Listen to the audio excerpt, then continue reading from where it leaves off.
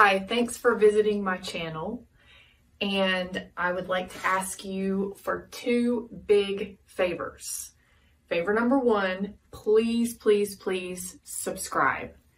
Favor number two, please go and check out our new merchandise. If you really like what we do and you would like to support the channel, this is one way you can do that besides subscribing. Um, so you can find really cute shirts like this one. Isn't it so cute? Water bottles, we've got stickers and hoodies and all kinds of awesome stuff. So check us out if you don't mind. And I will put the link below the video.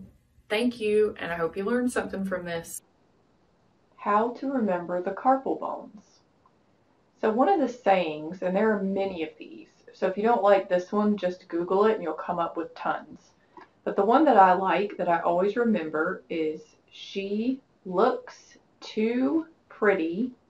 Try to catch her. And that will help you to remember the eight carpal bones in order. So looking at, this is a right hand. So looking from left to right using this saying, we have she, scaphoid, looks, lunate, too, triquetrum, pretty, pisiform, tri, trapezium, to, trapezoid, catch, capitate, her, hamate. So let's look at those individually and see if there are some little tricks to help us remember which one is which, especially if they're separated on a practical. So let's start with scaphoid. So here's the scaphoid by itself, and some think that it looks a bit like one of those goldfish crackers. I see it. Scaphoid, goldfish. Lunate, moon. So the lunate is shaped like a crescent moon. And the first part of the word, luna, means moon. Lunate.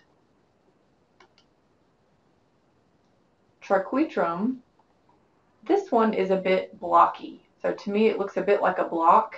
It's got three facets on it, which are these flattened areas where it joins with other bones. So triquetrum, block-like, three facets. The pisiform looks very much like a little pea. Round, like a little pea. Pisiform. Trapezium has a very large groove on it. But I can also see, and this, this may just be me, but I can also see almost like a deer head.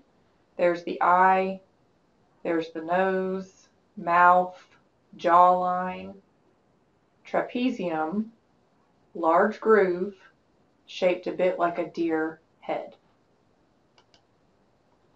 Trapezoid is shaped like a little baby shoe you can see the little toe points this way, trapezoid, baby shoe. Capitate looks a bit like Darth Vader's helmet. So you can see the little helmet kind of pointing down right here, capitate, Darth Vader. Hamate is shaped like a pork chop. There's the bone. There's the pork chop. Like this. Or if you like this better, it also looks like it's given us a thumbs up. I like hamate pork chop because ham is the first part of the word which makes me think of the pork chop. Those are the carpal bones.